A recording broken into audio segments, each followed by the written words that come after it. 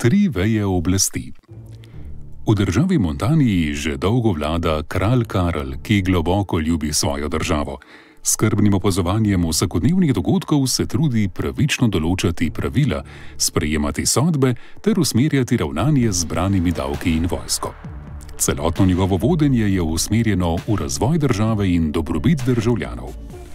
Karel je prepričan, da je dober vladar, saj vidi napredek Montanicev na ekonomskem, socialnem, tehnološkem in izobraževalnem področju.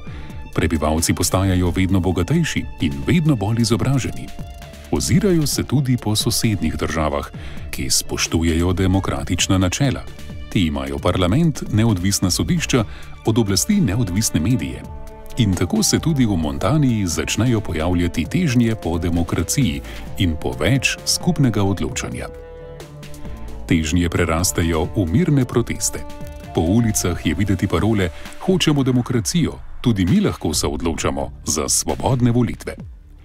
Prebivalci izražajo skrb, da vladar, ki sam piše zakone, na to pa še sam sodi, lahko škoduje državi, koristi pa le sebi in svojim prijateljem. Da bi preprečil hujše proteste in ohranil priljubljenost, Karl zaupa zakonodajno oblast prebivalcem in ustanovi parlament. 120 od ljudi voljenih poslancev v njem sprejema zakone, ki jih mora na to Karlov dvor izvajati. V svojem nagovoru državljanom Karl poudari: Zakonodajna oblast je svobodna, izvolili ste jo državljani in je vaša odgovornost tako spet pridobi nazaj nekaj naklonjenosti. Ta pa ne traja dolgo. Ko za glavnega zakladnika imenuje svojega brata Viktorja, poslancem v parlamentu zavre. Parlament po dvoletnem pregovarjanju in kraljevem rožljanju z vojsko, ki je že na meji konflikta, vendarle sprejme zakon, po katerem vse osrednje izvršilne funkcije, skrb za denar, šolstvo, infrastrukturo, gospodarstvo, zdravstvo, imenujejo poslanci.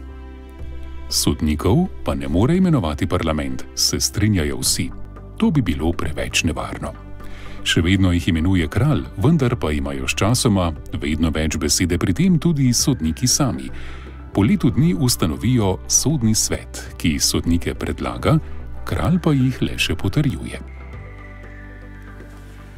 Karl tako v zadnjih letih velik del svoje moči prepusti ljudstvu, še vedno pa ostaja vrhovni poveljnik vojske, predstavlja državo v tujini ter ima kot spoštovana oseba pogosto vplivno mnenje o aktualnih družbenih zadevah. Oblast v Montaniji je zdaj razdeljena na tri veje. Zakone sprejema parlament, izvršuje jih vlada oziroma izvršilna oblast, prebivalstvo pa sodijo od kralja dokaj neodvisno imenovani sodniki. Prebivalci so znova zadovoljni z možnostmi odločanja o svoji državi. Tistim nekoliko bolj izobraženim pa je všeč predvsem to, da celotna moč oblasti ni več skoncentrirana v eni sami osebi. Tudi če v vladi pride do kakšne afere, mediji in parlament to sčasoma ugotovijo in preprečijo. In obratno. Medtem ko se montanici še navajajo na svojo novo mlado demokracijo, pa mi ponovimo tri glavna spoznanja tega videa.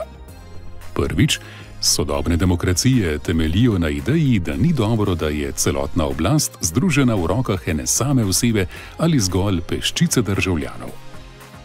Drugič, oblikovale so se tri veje oblasti. Zakonodajna, ki sprejema zakone, običajno je to parlament, izvršilna, ki zakone izvršuje, v Sloveniji je to vlada, ter sodna, ki skrbi za pravico v primeru, če se zakonov kdo ne drži. In tretjič, država mora biti urejena tako, da tri veje oblasti druga drugo nadzirajo. Temu mehanizmu, ki preprečuje, da bi ena veja oblasti nadvladala drugo, pravimo sistem zavor in ravnovesi ali v angleščini checks and balances. Za konec pa še vprašanje: morda veš, kaj pa pomeni izraz četrta veja oblasti?